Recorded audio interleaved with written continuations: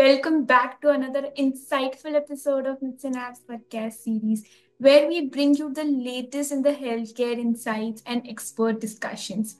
I'm your host, Hetvi Shah, and today we are diving into a condition that affects millions worldwide, which is atopic dermatitis. This chronic skin condition can cause significant discomfort, especially in children and infants, and managing it effectively requires a fine balance between traditional therapies and newer innovations. And to help us explore this important topic, we are thrilled to have with us Dr. Rani Manohari uh, Kuppusamy, uh, a consultant dermatologist and internal medicine specialist at Prince Court Medical Center in Malaysia. Dr. Rani brings a wealth of experience in managing complex skin conditions, and she is here to share her expertise on the evolving landscape of treating atopic dermatitis, uh, from the role of topical corticosteroids and to the latest in non-steroidal uh, treatments. So, Dr. Rani, welcome, and it is a pleasure to have you with us. Hi, uh, thank you for having me. Thank you. So let's start di- uh, right in, Doctor. So could you share with us the historical significance and efficacy of topical corticosteroids in managing atopic dermatitis, and how do they compare with newer treatments like crisaborole and other PDE4 inhibitors? Okay, so um, I think topical corticosteroids, or for short term we call them TCS, has been a cornerstone in treatment uh, of atopic dermatitis since the introduction, I think since the 1950s or so, since the mid 20th century. And the widespread use of it has actually revolutionized the treatment of uh, atopic dermatitis. Why? Because as we know, atopic dermatitis is a chronic inflammatory skin condition. So, topical corticosteroids have a potent anti inflammatory effect and has the ability to quickly alleviate symptoms such as redness, itching. So um, that's how I, that's how it's been a cornerstone of treatment.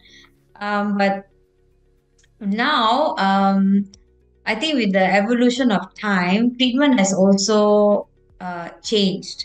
And uh, when we talk about topical corticosteroids, yes, they are great. They work fantastically for atopic, uh, atopic dermatitis, but with the evolution of uh, treatment, you also see abuse of treatment or overuse of these products. So mm-hmm. I think there's a lot of uh, steroid phobia now. And if you go across online, you see so many uh, videos on social media, especially on topical steroid withdrawal, so on and so forth. So how does this come about? Probably because of prolonged usage of these topical corticosteroids without supervision, uh, without a doctor advising them on how much and how long to use it, and the potency of the steroids. So there are many levels of potency when it comes to topical corticosteroids. So it's important to know how potent is it, how to apply, how much to apply, and how long to apply for. So these are very important. And now uh, we also have novel therapies newer non-steroidal treatments uh, such as uh, PDE4 inhibitors such as crisaborole and also calcineurin inhibitors tacrolimus, pimecrolimus. Uh, so these are all new treatments uh, that are approved for treatment of mild to moderate uh, atopic dermatitis and have just as much efficacy as topical corticosteroids, except perhaps the cost is always in question. The cost is higher. Yeah, so it means that uh, it is better and safer for long-term solutions. Yes, it's safer. Yes, for long-term use. Yes. Yeah. So on the in the same context, you know, as you also mentioned the concerns about the long-term steroids like uh, skin thinning and rebound effects uh, that has come to my mind. So how does this influ- influence your treatment decision in mild to moderate cases of atopic dermatitis? Okay, so um, when we talk about steroids again, we have to use them very cautiously in special areas of our body where the skin is thinner and more sensitive, such as our face, the neck, uh, body folds, uh, the genitalia, and all the, these areas are highly sensitive. So again, the potency of the steroid comes into question: how much to apply, how long to apply, and the type. And So, um, uh, so when it comes to treatment areas such as this, we tend to uh, choose the non-steroidal options, uh, as mentioned before, the PDE4 inhibitors and the uh, calcineurin inhibitors. So this group of drugs can be used safely in these areas for prolonged periods of time to help yeah. maintain uh, eczema. So it is like balancing effectiveness and minimizing long term. Uh, yes, the only thing is sometimes they, the, the onset tends to be a little bit more slower. Mm. And topical corticosteroids, uh, they tend to have more rapid onset. So what we do sometimes is we, of course, we need to counsel the patients because of this. Uh, and also sometimes they may opt, so certain clinicians may opt to perhaps start off with a topical corticosteroid for a very short duration, perhaps just a week or so, and then, con- then continue with the non-steroidal option to, for maintenance.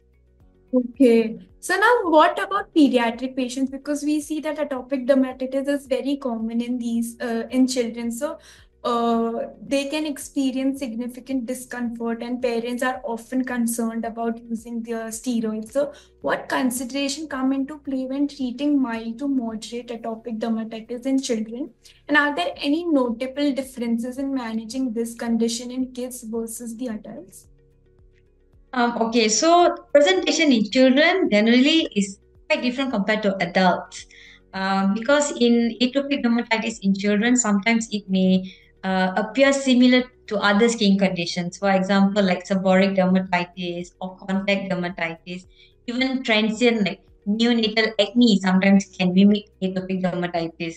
So it's um, there's a there's lack of a clear diagnostic criteria that's specific to infants. So it's harder to differentiate. So this is when experience comes into play. and also, you know, uh, infants cannot communicate the symptoms. But what parents will tell you is the child is probably uncomfortable, rubbing against the sides, you know, because they're very uncomfortable, crying throughout the night.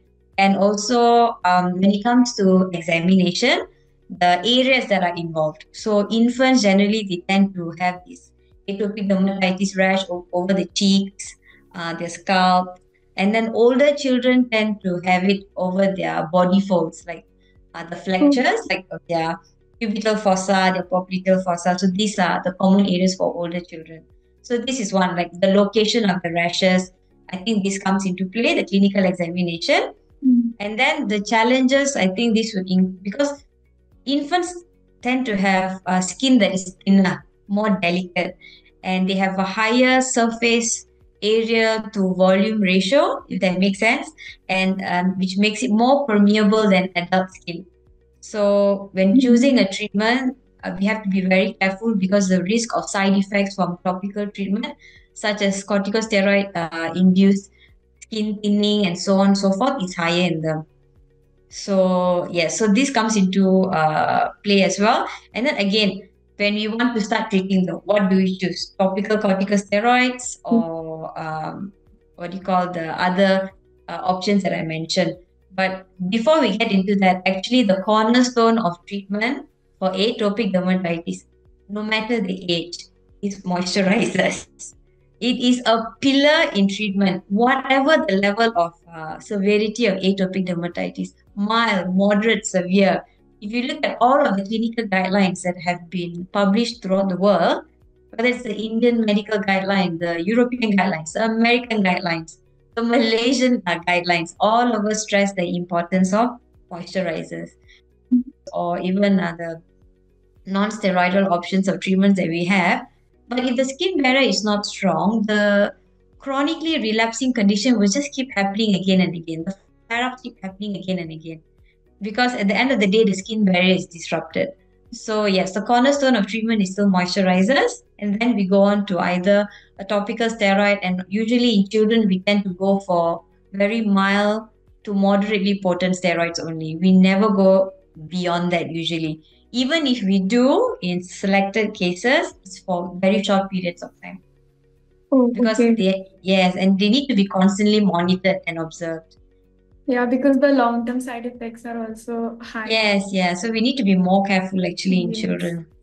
So, so the treatment also takes uh, more time to cure it than the uh, corticosteroids. Yeah, so generally when we advise patients, uh, we always tell them, okay, apply a thin layer uh, Mhm. above the moisturizer and we will try this for a week, maybe two weeks.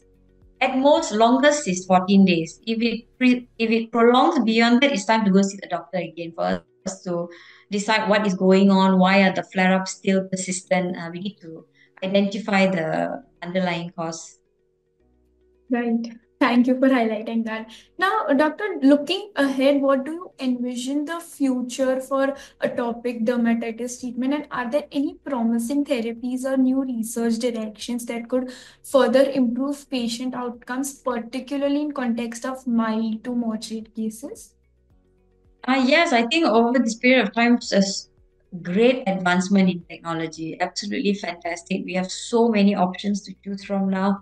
It's no longer just your topical steroids. We have uh, such advancements such as uh, biologic treatment, which are subcutaneous injections. And then we also have oral medications called JAK inhibitors. So basically, what these do, they're highly specific, highly targeted.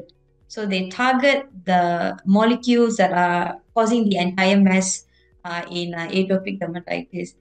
And sometimes, whether it is mild, moderate, or severe, we tend to go back to how it's affecting the patient's quality of life. So, if, for, for example, if you see a patient who's, when you look at them, you barely see any rash, but they're just itching and itching and itching. And then you have another patient who has rashes all over, but it doesn't seem to bother them. So, but yeah, in more case, more often than not, it's always itchy. But what I mean to say is, even if they have mild disease, but the, it's a very uh, itch predominant phenotype, uh, they still need treatment. And sometimes we, uh, and how much topical steroids are you going to give them?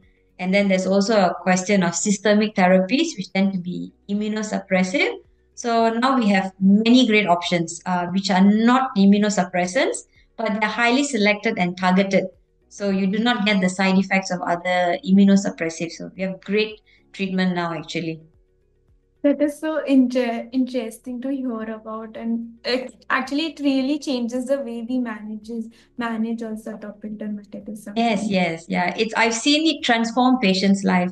So uh, we don't have to rely so much or heavily on topical steroids and all, and you know, and suffer the complications of long-term steroid use. So patients with chronic eczema have uh, hope. Really, they really do have great treatment out there for them. Yeah, like like you mentioned earlier, just a basic moisturizer will also work sometimes. Yes, yes, yes. It's a cornerstone of treatment. Really, you will be surprised on how well just applying a moisturizer alone will help to a certain extent. Thank you for that advice. So before we wrap up, one last question is with your vast experience, uh, what advice would you like to give to the upcoming uh, healthcare professionals who are pursuing dermatology? Oh, dermatology is a wonderful field. Um, a lot of the times I get some slack from my fellow physicians or uh, specialists in other in other specialties who think we treat everything or we just steroids. that is not that is not the case at all. Uh, for the dermatology is beyond just rashes. The skin is the largest organ of the body, so you can just uh, imagine the number of problems that can arise from the largest organ of the body. And dermatology also covers hair, nails, uh, sexually transmitted diseases, even diseases such as leprosy. So it's actually very interesting. Um, I'm glad I chose dermatology. It gives me a good balance in my life as well. Um, but yes, I really do think if there's anyone who has the slightest interest in dermatology, perhaps take um, a sabbatical or even an attachment in a dermatology clinic to have an idea of what we see. Because our outpatient clinics can be very heavy, actually. Thank but you. interesting. yeah, that was a beautiful advice, though. And as we wrap up today's session, thank you so much, Doctor, for sharing your insights today. It has been such an enlightening conversation with you. Thank you so much for having me. Thank you. And to our listeners, we hope you found this episode helpful. And remember, if you're a healthcare professional who is eager to delve deeper into medical topics or have questions, do not hesitate to join us on the MedSynapse platform. MedSynapse platform is not just a resource, it's a dynamic space where you can connect with your medical peers, participate in meaningful discussions, and contribute to the ongoing evolution of healthcare. So, until next time, take care and stay healthy.